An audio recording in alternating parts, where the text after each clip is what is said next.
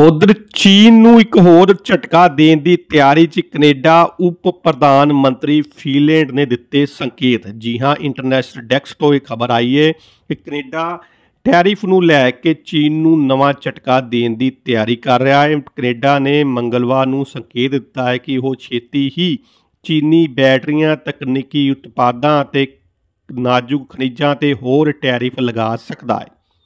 ਇਹ ਘੋਸ਼ਣਾ ਚੀਨੀ ਇਲੈਕਟ੍ਰਿਕ ਵਾਹਨਾਂ EVs ਤੇ 100% ਟੈਰਿਫ ਲਗਾਏ ਜਾਣ ਤੋਂ ਬਾਅਦ ਆਈ ਹੈ।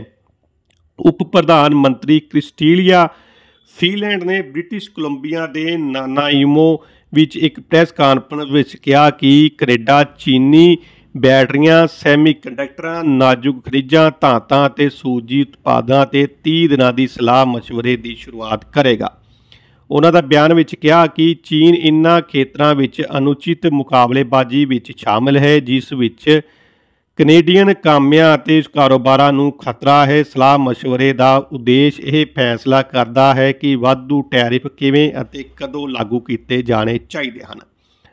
ਅਗਸਤ ਦੇ ਅਖੀਰ ਵਿੱਚ ਕੈਨੇਡਾ ਦੀ ਚੀਨੀ ਈਵੀਜ਼ ਉੱਤੇ 100% ਦੀ ਟੈਰਿਫ ਅਤੇ ਸਟੀਲ ਅਤੇ ਐਲੂਮੀਨੀਅਮ ਉਤਪਾਦਾਂ ਉੱਤੇ 25% ਟੈਰਿਫ ਦਾ ਐਲਾਨ ਕੀਤਾ।